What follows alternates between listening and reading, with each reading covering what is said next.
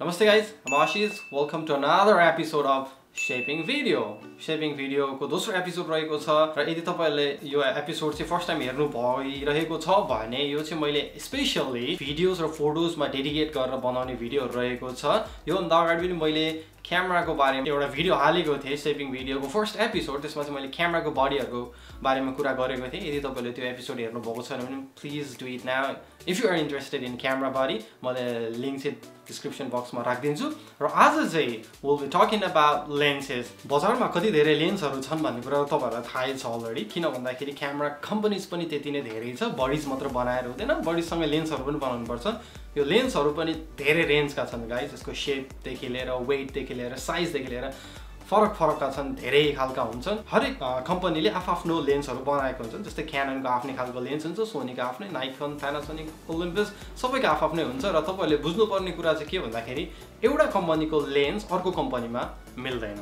अब के गरेर मिलेछ भने प्रब्लली दुइटा कम्पनीले चाहिँ हुन्छ नि एक आपसमा सहमति गरेर बनाएको हुनसक्छ। र किन मिल्दैन भन्दाखेरि यहाँ मसँग अहिले क्यान इओएस सेभेन्टी टी रहेको छ। हरेक क्यामेराको यो माउन्ट लेन्स माउन्ट चाहिँ फरक भइदिन आउँछ। जसले गर्दा चाहिँ एउटा कम्पनीको लेन्स अर्को कम्पनीमा अट्दैन भनौँ अथवा मिल्दैन भनौँ। यसै गरी गाइज अर्को हामीले बुझ्नुपर्ने कुरा के छ भन्दाखेरि एउटै कम्पनीले बनाएको क्यामराहरूको सेन्सर साइज फरक हुन आउँछ। यो सेन्सर साइज चाहिँ जस्तै full frame sensor APSC sensor या माइक्रो फोर थर्ड सेन्सर जे पनि हुनसक्छ यो सेन्सरहरू अनुसारको लेन्स लाग्ने पनि हुनसक्छ। यो लेन्स किन्दा पनि धेरै कुराहरूको ख्याल गर्नुपर्ने हुन्छ जस्तै आफूलाई कस्तो खालको लेन्स चाहिएको हो होइन कति रेन्जसम्म चाहिएको हो भन्ने कुराहरूको ख्याल गर्नुपर्ने हुन्छ। र फर्स्टमा चाहिँ म यो लेन्सको प्रकारहरूको बारेमा कुरा गर्न गइरहेको छु। र फर्स्टमा कुरा गरौँ wider angle lens wide angle lens नामले नै हामीलाई जनाउँछ एकदम वाइड एङ्गल अफ भ्यू हुन्छ भनेर लेन्सको चाहिँ।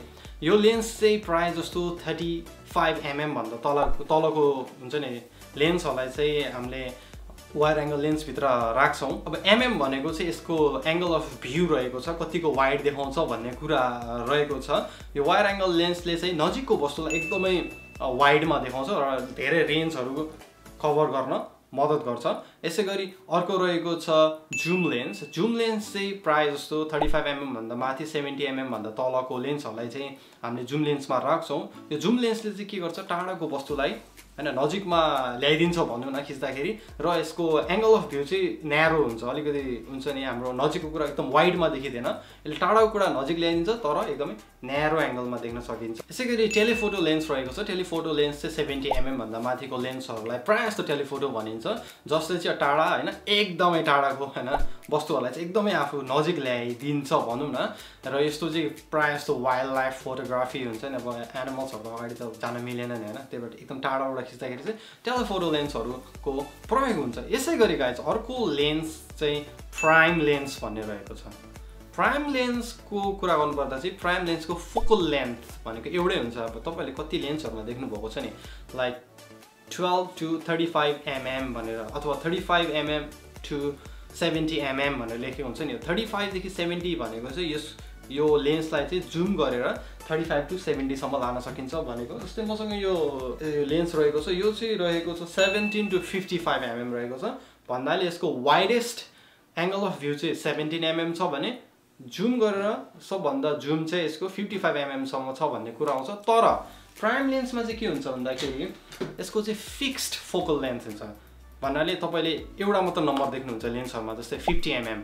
या just fifty mm you cannot zoom the prime lens prime lens zoom गर्न सकिँदैन।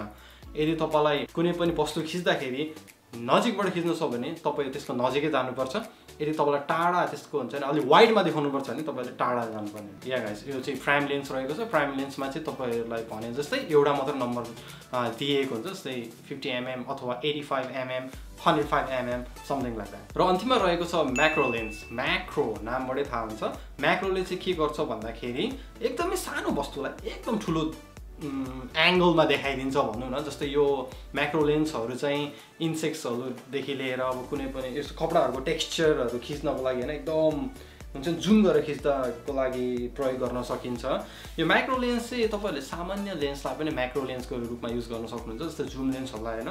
अब कतिसम्म भ्याउँछ यसले खिच्न सक्नुहुन्छ तर एकदम डेडिकेटेड म्याक्रो लेन्सहरूले चाहिँ तपाईँहरूको टेक्स्चरदेखि लिएर हुन्छ नि सानो वस्तुलाई एकदम ठुलो देखाउन चाहिँ एकदमै हेल्प गर्छ र तपाईँहरूले प्रोडक्ट फोटोग्राफीहरू सानो सानो प्रोडक्ट फोटोग्राफीहरू पनि म्याक्रो लेन्सबाट खिच्दा एकदमै राम्रो आउँछ र म्याक्रो लेन्स चाहिँ प्रायः जस्तो लेन्समै लेखेको हुन्छ म्याक्रो भनेर।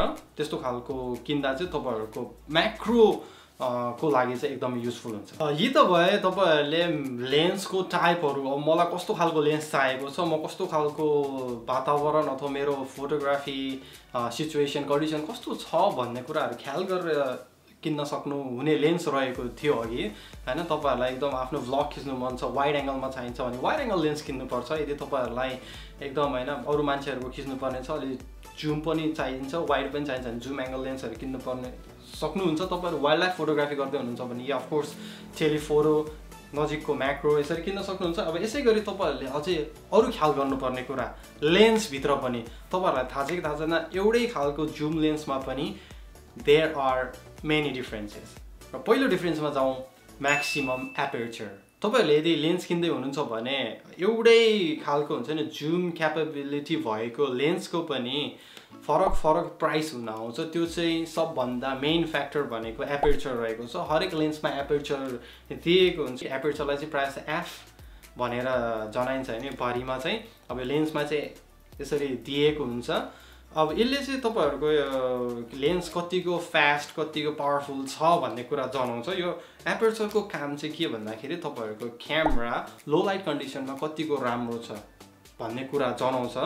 र यो एफ टू पोइन्ट एट भनेको चाहिँ तपाईँको फिक्स्ड एपेर्चर छ यो लेन्समा। तपाईँ जति जुम गर्दा पनि इट म्याटर टु पोइन्ट एटमै हुन्छ भन्ने कुरा देखाउँछ।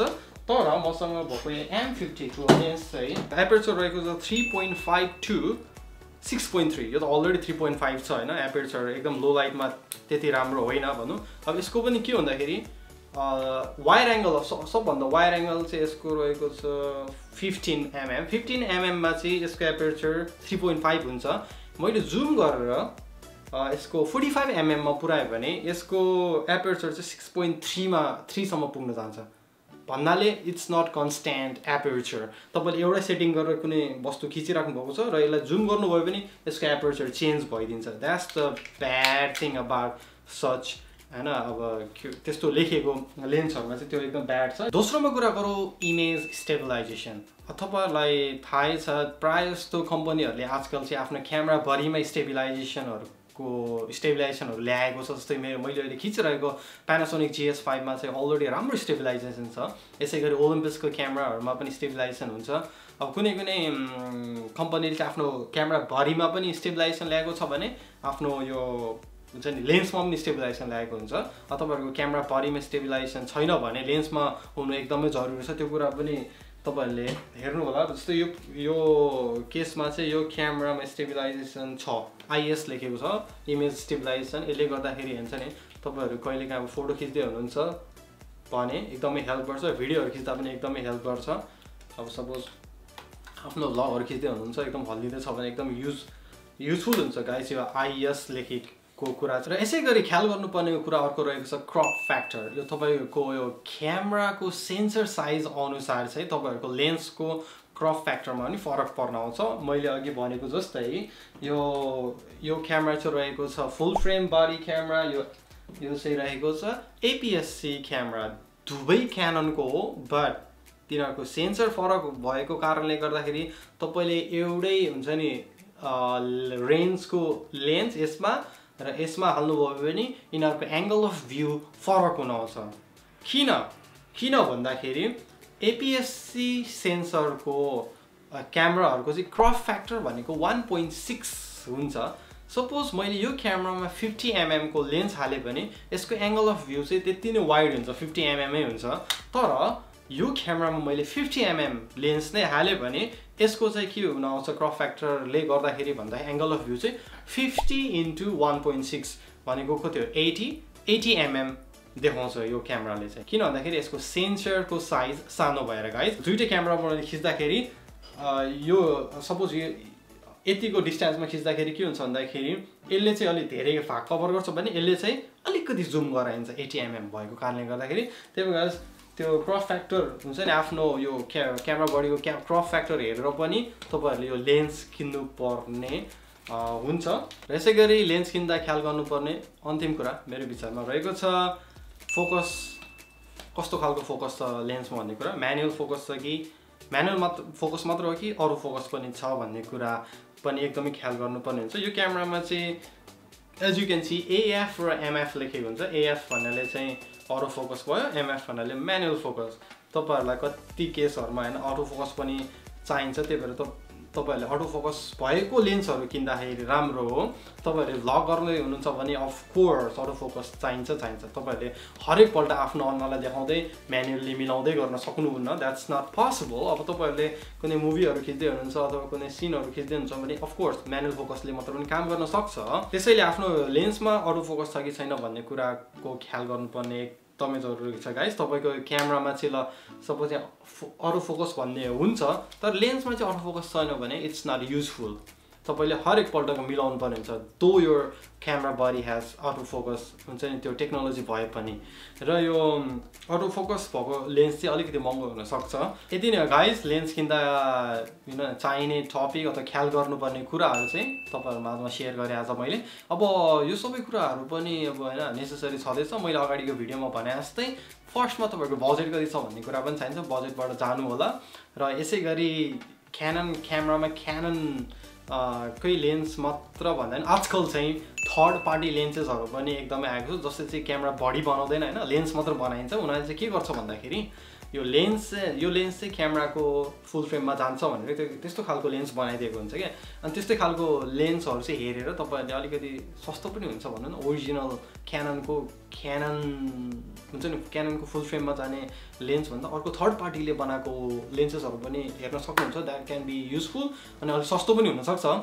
र त्यस्तो खालको लेन्सेसमा चाहिँ लेन्सेसको कम्पनीमा चाहिँ सिग्मा पर्छ Tamron Rokinon and there are many Samyang भनौँ यो चाहिँ सामयाङ चाहिँ कोरियाकै हो there are many other lenses guys yeah you can choose from them as there as well yeah guys आजको लेन्सको बारेमा चाहिँ यति नै. मेरो एक्सपिरियन्सहरू चाहिँ तपाईँहरू माझमा सेयर गरेँ. I think it was useful to guys अब यस्तो भिडियोहरू म अझै ल्याउँदै गर्छु. अनि यदि तपाईँलाई अझै क्यामेराहरूको बारेमा केही बुझ्नु छ भने कमेन्ट गर्नु होला र या फोर सब्सक्राइब गरेर बेल आइकन पनि थिच्नु होला so that you can you won't miss any of the videos. And guys, with that said, I'll see you next video.